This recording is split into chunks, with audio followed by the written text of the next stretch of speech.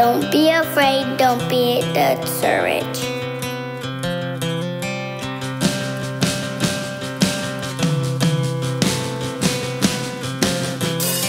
God is with you.